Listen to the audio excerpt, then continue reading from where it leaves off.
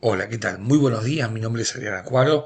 Este es el informe diario para el día viernes 19 de agosto de 2022. Comenzamos con el par euro-dólar que cotiza 1.0085 y una tendencia bajista de gráfico de 4 horas con soportes en los mínimos del día eh, jueves a 1.0075, eh, luego 1.0055 y 1.0030 al alza, 10120, 10150, 10180, los indicadores señalan que puede haber movimientos bajistas mucho más pronunciados todavía, con una sobreventa moderada y con momentos acelerando en esa dirección, por lo cual se puede esperar todavía una caída adicional antes del inicio de un ciclo alcista de la moneda única. En tanto, la libra esterlina cotiza 1,1931 ante el dólar y una tendencia bajista de gráfico de 4 horas con soportes en 1,1915 los mínimos del día 22 eh, de julio, luego 1.1895 y 1.1870 al alza,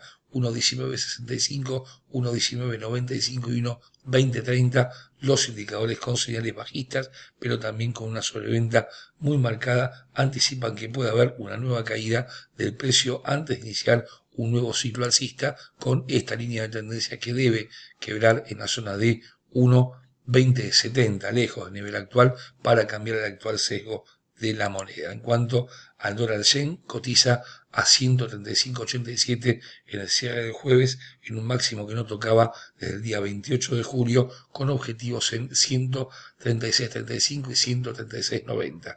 A la baja 135.50 y 134.70. Los indicadores con señales alcistas en todos los casos anticipan un movimiento favorable al dólar durante las próximas horas que tiene por lo menos alcance la zona de 136.90 donde quedó un gap, el gap que en realidad quedó un poquito por abajo, ¿eh? en 136.50 entre los días 27 y 28 de julio.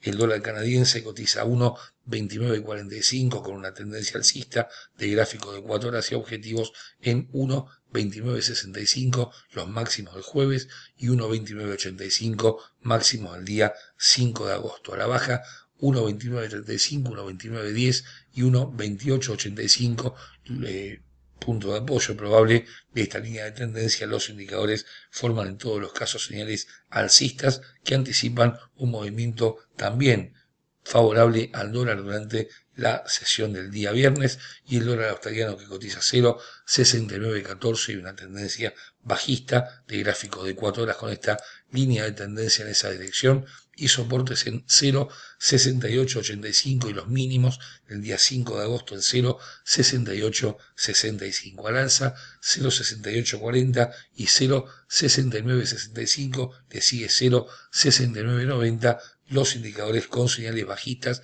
en todos los casos, pero con una ligera divergencia entre el momento y la curva de precios que puede estar anticipando el quiebre de esta línea, una recuperación del OSI en la sesión de la fecha. Señores, como siempre, y disculpen por favor la voz y el corto informe, la voz no da para más.